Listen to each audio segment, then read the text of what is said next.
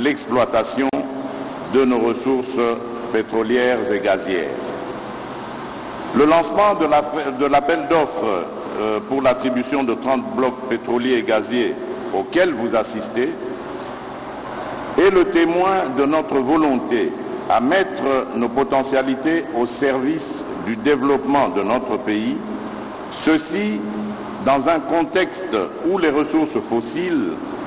en ce compris le pétrole brut et le gaz, sont replacées au centre des enjeux mondiaux de paix et de stabilité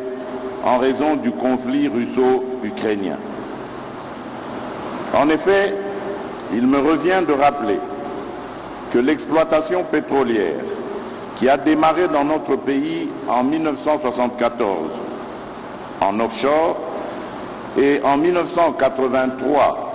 en onshore est restée confinée sans raison au bassin côtier du littoral atlantique, donnant aujourd'hui une production modeste d'environ 23 000 barils par jour, alors que 85% du potentiel en hydrocarbures du pays reste inexploré et inexploité. Ici, l'argument en partie vrai selon lequel le pays avait misé sur le tout minier, reléguant ainsi au second plan l'autre branche de l'industrie extractive qu'est le secteur des hydrocarbures, n'explique pas tout. Cette réalité historique ne doit cependant pas masquer nos, nos latentes insuffisantes en matière de gouvernance dont le corollaire a été le legs de plusieurs litiges se chiffrant en millions de dollars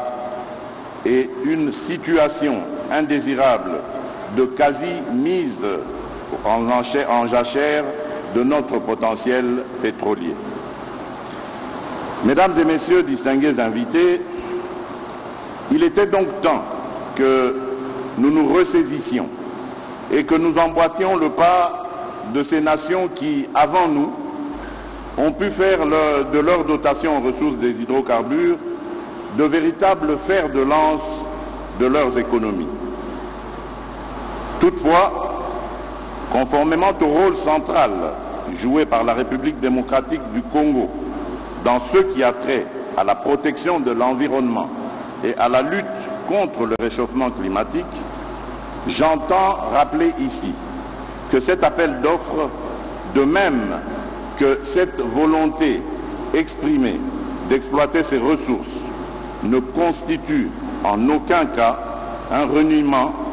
des, engagements auxquels nous avions souscrit à l'international, bien au contraire. Conscient des réserves que cette nouvelle voie pourrait susciter, je rassure ici nos partenaires sur notre détermination à mener les travaux d'exploitation et d'exploration à l'aide des moyens technologiques les plus modernes qui protègent l'environnement, la faune et la flore et préservent les écosystèmes ainsi que les équilibres écologiques. Aussi, je tiens à rassurer que conformément aux normes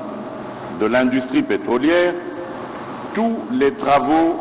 susceptibles d'avoir un impact négatif sur l'environnement, tels que les acquisitions géophysiques et les forages, seront exécutés avec une étude exhaustive d'évaluation de l'impact environnemental et social et d'un plan de gestion environnementale en vue de minimiser les effets néfastes sur la faune et la flore, ainsi que sur les conditions de vie des communautés environnantes. Ces études et ces plans de gestion seront à chaque fois examinés et approuvés par le ministère de l'Environnement et Développement durable avant le début des travaux. Mesdames et Messieurs, distingués invités, dans le cas où les phases d'exploitation, les phases d'exploration, pardon, nous permettraient de mettre euh, à jour, puis de produire du pétrole brut et ou du gaz notre vœu le plus cher consisterait, et ce, en accord avec nos stratégies de relance des secteurs productifs et de la transformation locale,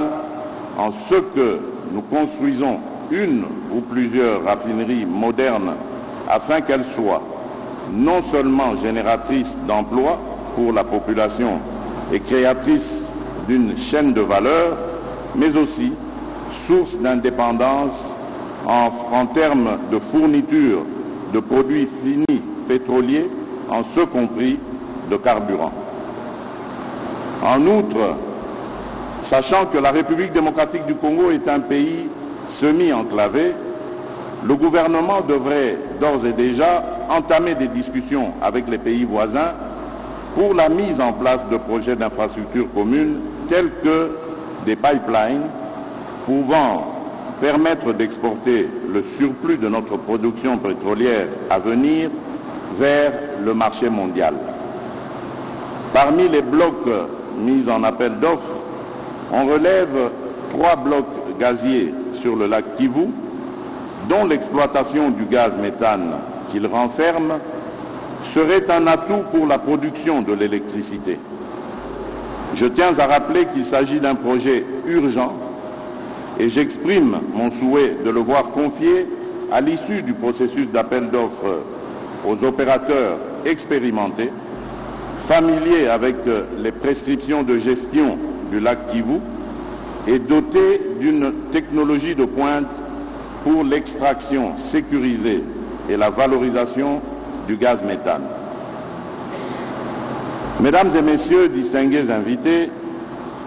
l'exploration et l'exploitation de notre potentiel en hydrocarbures ne peuvent se faire sans les Congolaises et les Congolais. En effet, il est question pour nous de privilégier dans cette nouvelle voie ce que les anglo-saxons qualifient de local content. Pour ainsi réifier, euh, pardon, pour ainsi ce concept de local content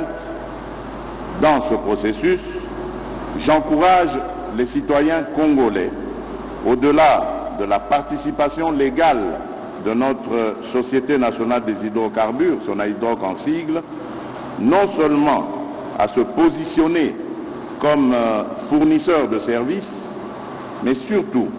à tisser des alliances stratégiques avec des partenaires internationaux en vue de participer pleinement en tant qu'acteur actif aux opérations d'exploration et d'exploitation pétrolière.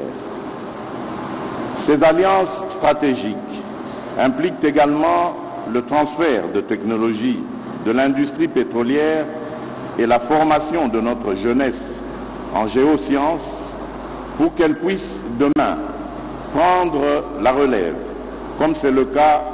dans d'autres pays africains producteurs d'hydrocarbures. Je profite également de l'occasion pour demander à notre gouvernement l'examen de tous les mécanismes légaux susceptibles d'appuyer nos concitoyens qui désirent œuvrer dans le domaine de l'amont pétrolier, qui exigent des moyens financiers colossaux et qui comportent un risque indéniable en cas de non-découverte des hydrocarbures. Enfin, je reste persuadé que ce processus d'appel d'offres qui commence aujourd'hui va se dérouler de manière transparente pour aboutir à l'attribution des 30 blocs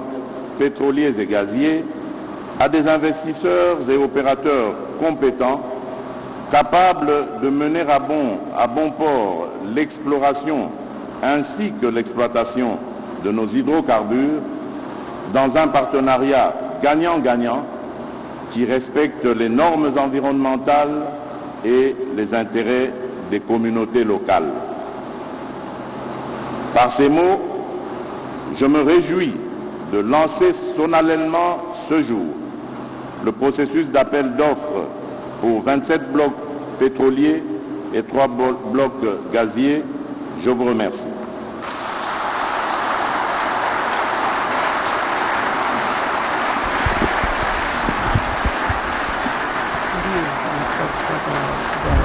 Jamhuri ya Kidemokrasia ya Kongo Felix Antoine Tshisekedi Tshilombo kutokana tu na kazi ama mwito ya kuita biashara ambaye Monsieur le ministre des